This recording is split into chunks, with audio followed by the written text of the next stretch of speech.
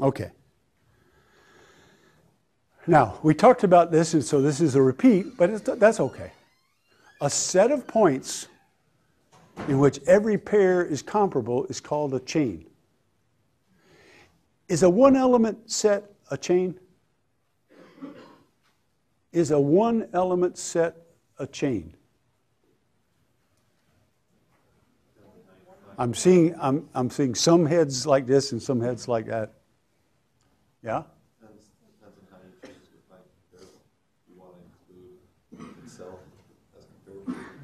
You're trying to stick me, but you're wrong.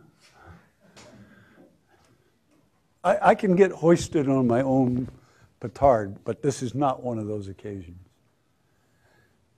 This is a, a statement that is vacuously true.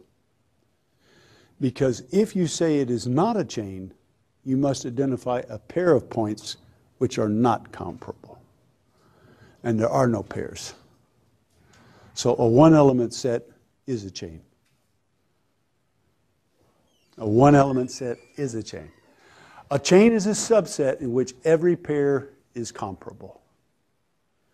The blue points that have been highlighted there, X, T, E, Y, form a chain, a chain of size 4. Now, what I, all I've done between this slide and the preceding slide is color another point blue. Now I have a chain of size 5, starting from the bottom, X up to T, up to S, to E, and then on to Y. And that chain is maximal in the sense that you cannot color any additional point and keep the set a chain. Look at that picture. Can you find a maximal chain of size 2?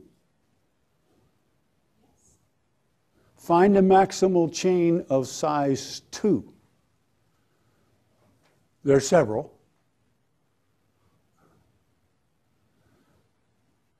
Who's got one?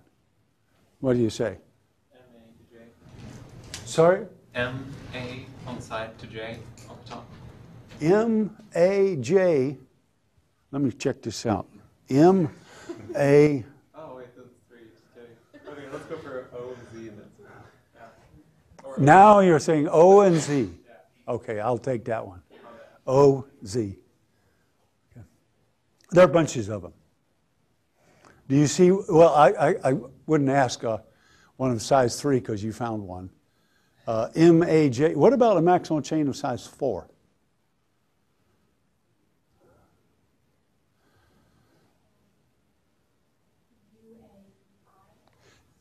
U U Q B I. Yep.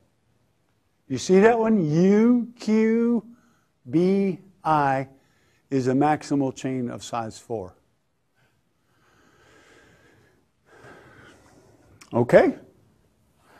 All right. Here's a maximal chain of size 6. Now, I've swapped some points out, obviously. X, T, S, A, N, K. That's a chain of size 6. And you can't add anything else to this set and keep it a chain.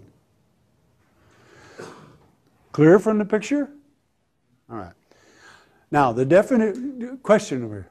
On the last slide, is there a maximal chain of? It's the same picture. So, yes, there are. Uh, like GJ. GJ. That's a maximal chain. It's the same picture. This picture is, is going to be reused many times. Okay? So here's a maximal chain of size 6, and the definition of height is it's the maximum size of a chain. So the natural applied problem is how hard is it to find the height? And we make these observations, it's clear how to provide a certificate for an assertion that the height of P is at least something. You just simply provide the chain. But how would you provide a certificate for the assertion the height of P is at most H? If I give you a big poset, a thousand points, and somebody stands up and says the height of this is at most 23, and they are challenged based on just the definitions, how would they defend that answer? From basic principles, they would be left with, well, I couldn't find a longer one, and you can't either.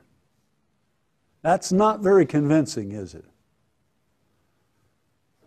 Not very convincing. All right, we'll come back to that.